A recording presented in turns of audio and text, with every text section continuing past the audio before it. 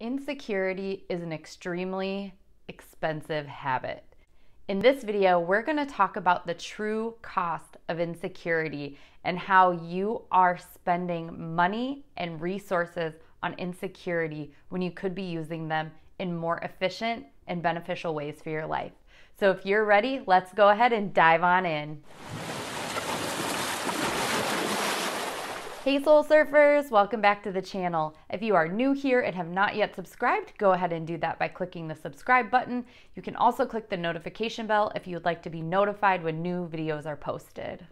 Today we're talking about the cost of insecurity and of being insecure. I just had a recent epiphany about how much insecurity really costs, and not just financially either although it is interesting to see how insecurity is impacting us financially. So, what is the true cost of insecurity? On an emotional level, insecurity is costing us our happiness. Because where insecurity comes from is comparison. The reason we feel insecure is because we are taking ourselves and comparing ourselves to what we see in others. And I say it that way because a lot of times the things that we are seeing from others are not always the truth, especially in this age of social media where everything is portrayed to be happy go lucky and we only see the parts of people's lives that they want to share. In fact, society encourages us to compare ourselves to each other, and that's why social media is it's pretty much a mask. A lot of times people, like I said, just show the parts that they want people to see. And these are the parts that society deems as making us valuable, such as all the happy parts of our lives, all of the successful parts of our lives, any awards we've won, because that makes us more valuable and have meaning. When we compare ourselves to other people and we look at how well we think everyone's doing based on what they're showing the world, that makes us feel insecure. We allow ourselves to feel insecure based on these comparisons. And when we make these comparisons and we see for ourselves that we're not where somebody else is, that gives us a reason to criticize ourselves or push ourselves harder because we're not doing enough. Basically, we're placing our value and our worthiness based on someone else's level of success or how we are perceiving their success. Now, society has its own way of perceiving success. And a lot of times we're looking through those goggles when we are comparing our success, our joy, our happiness in our lives to other people. So, the way to break free from this insecurity is to stop comparing yourself. The only person that you really need to compare yourself to is yourself. In fact, I don't even know if you need to compare yourself to yourself because all we really need to do is be in the present moment. If you don't like the way things are in your life right now, you have the power to change them. You have the power to make a difference and change the trajectory of your life. So, if there is really a comparison of self with self, it would be for me, in my mind, more of looking at where you are now and then as you move forward, seeing if you've made progress toward what you really ultimately want in life what you authentically want in life, not what anyone says you should want or should do or should have. And at certain stages of your life, at certain age, we gauge everything by age milestones. You know, if, if you're not married by age 40, then there's something wrong with you. Not true, by the way. That's not true. These are the things that society has placed on us to make us believe that we have to hit these milestones in order to have worth, value, or show our success in life. And by setting these milestones and these timelines that are completely meaningless, we keep ourselves insecure when we don't meet those timelines. And in fact, by placing timelines on things, we are automatically setting ourselves up for potential failure. Because as those timelines come closer, if we're not where we think we should be, then we start putting pressure on ourselves and starting to feel unworthy or that we're not good enough or there's something wrong with us for not meeting this timeline. And this just reinforces our insecurity, which steals our joy, which steals our happiness. So remaining insecure is costing you your happiness.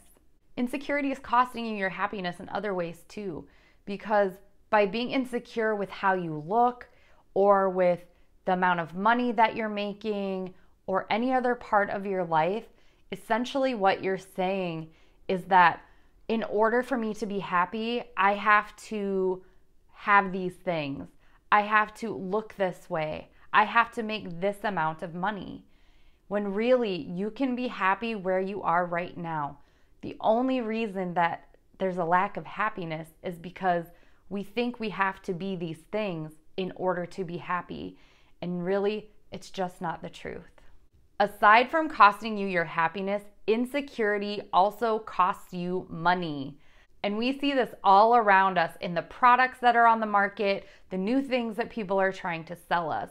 And one of the biggest markets that I see this insecurity play out in is health and beauty and weight loss and diet. And so, all of those things, basically outward appearance. Of course, it costs money to buy all of these products to meet society's standards of beauty and appearance and weight and body image and all of these things.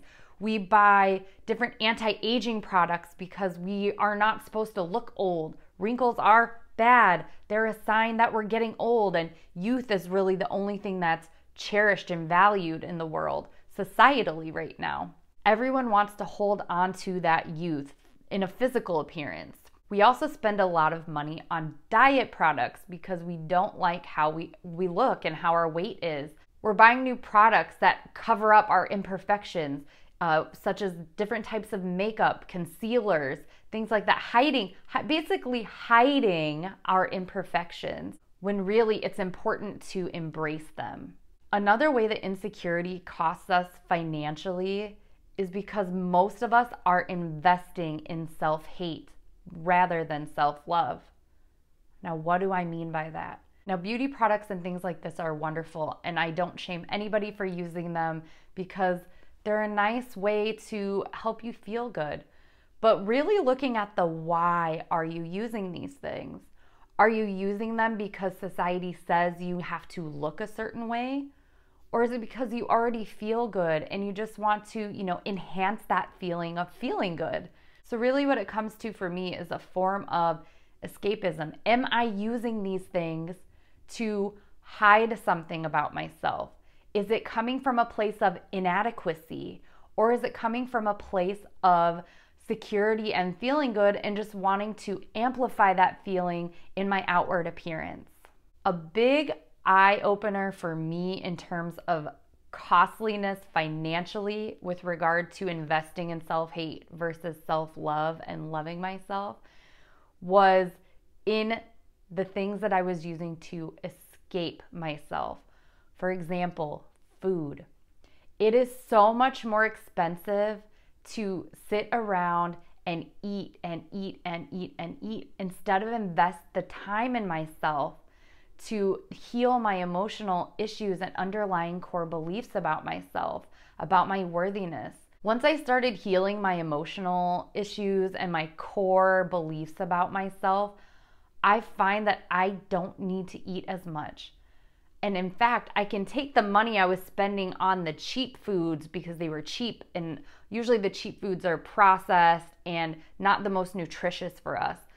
The money that I'm saving because I need to eat less, I can take and invest in healthy foods, which I actually crave more now because the processed foods were just things that I was using as a hit to feel better, to feel better, just that temporary kind of high feeling. Whereas now I crave fruits and vegetables and lean proteins and things like that that nourish my body. And so, even now, transitioning the way that I eat with healthy foods and Whole Foods, even though dollar for dollar those may cost more, I'm actually saving money in the long run because I don't need to eat as much. I'm not running from myself. I'm loving myself. I'm loving my body. And naturally, that is saving me money by investing in the right things, investing in that self love. Another realization for me is when I started looking at my core beliefs and my emotional issues, I resolved to stop using substances that were keeping me from feeling my feelings and numbing myself. So, what I did is I decided to stop drinking alcohol. And I haven't drank alcohol for almost a year now. And it feels really good, first of all. But when I look back at how much money I was spending on drinking in order to run from myself and avoid myself and avoid the reality that was around me and how much I was not enjoying or loving my life or myself, it was just wild to see how much money I was spending on that and that behavior and that habit when I could be using it to do other things. There were things that I was denying myself that were healthier choices, but I didn't want to do them because I didn't feel worthy or deserving. And I would, you know, basically talk myself out of it and say, it's too expensive. It's too expensive for me to join this personal development course. Personal development courses can run all sorts of different ranges of prices, but I would talk myself out of that, yet be able to go to the bar and easily drop, you know, like a hundred dollars in a weekend or on a day or something. It, it's just wild to look and see how much money I was spending on unhealthy behaviors.